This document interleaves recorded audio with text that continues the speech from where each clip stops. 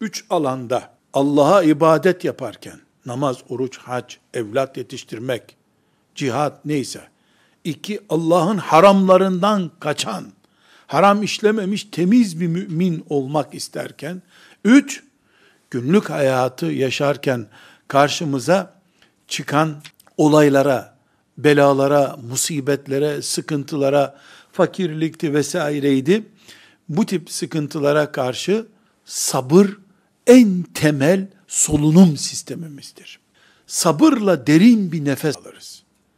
Sabır Allahu Teala'nın kaderiyle aramızdaki iletişimi kurar. Sabır evet bir hoca efendiden gidilip alınıp eve getirilip uygulanan tıpkı bakkaldan peynir alıp eve getirmek gibi yapılabilen bir şey değil. Ama Allah'a iman da böyle bir şey değil. Birisinden Allah'a iman al getir bize demiyoruz. Alıp avuçlayamadığımız, cebimize koyamadığımız bir şeye iman diyoruz. Sabır da onun gibi.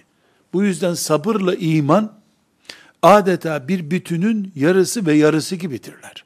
İman güçlendikçe, Allah'a itimat güçlendikçe müminin sabrı güçlenir. Nuh Aleyhisselam'da olduğu gibi 950 senelik imanı vardı, 950 sene sabretti.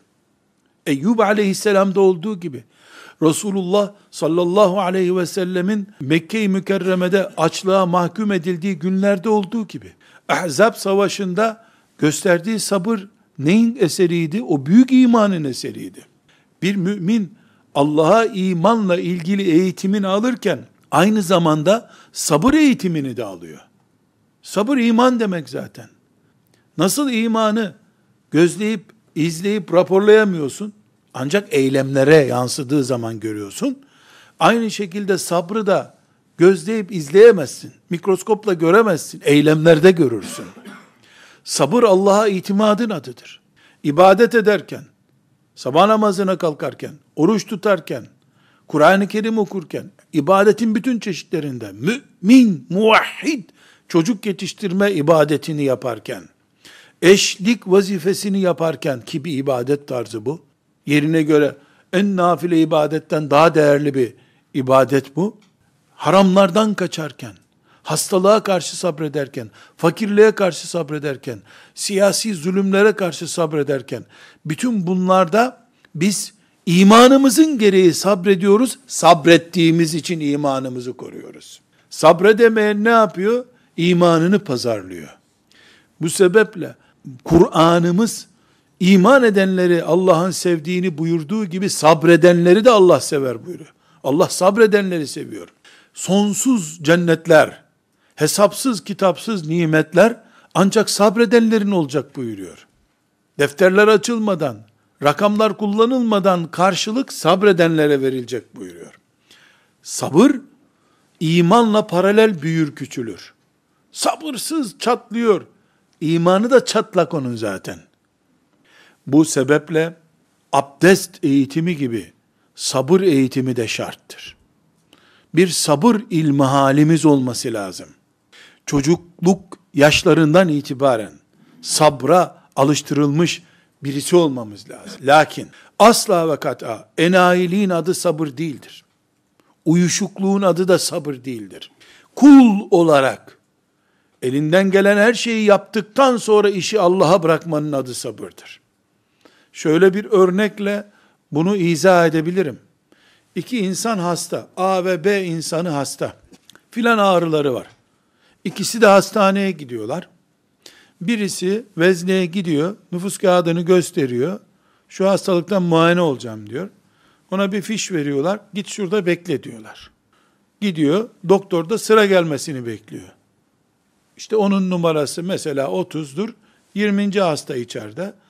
Bakıyor 21 oldu, 22 oldu, bana 8 kaldı, bekliyor orada. Ama elinde fiş var, güveniyor bu resmi bir fiş. Bu fişle doktor beni muayene edecek diyor. B hasta da hastaneye geliyor. Aynı bölümdeki doktorun önüne geliyor. Nerede bu doktor? Beni niye muayene etmiyor diyor. Ya içeride hasta var diyorlar. Bir dakika duruyor. E bu, bu hasta çıktı beni niye almadınız diyor. E sonunda diyorlar ki ona e kardeşim sen vezneden sıra aldın mı? Ya da bu doktora geleceğine dair ruhsat aldın mı? Ne hastayım anlamıyor musunuz? Ben hastayım, hasta olduğum için geldim diye. Bunlar ziyarete gelmediler, bunlar da hasta.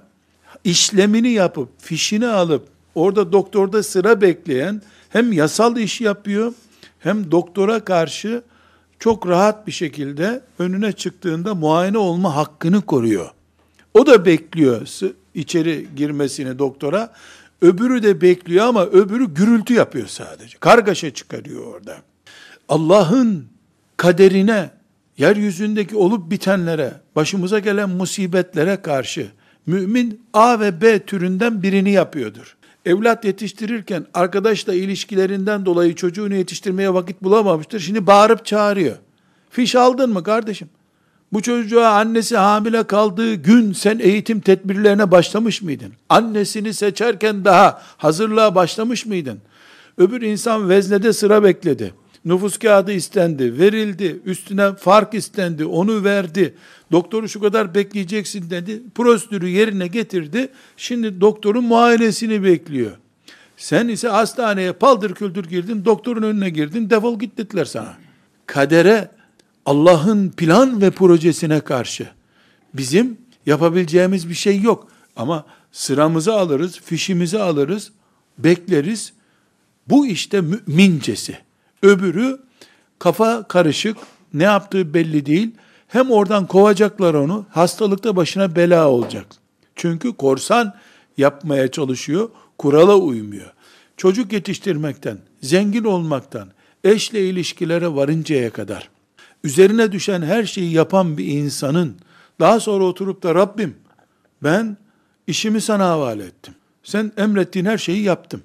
Fişimi aldım, orada sıra bekliyorum der.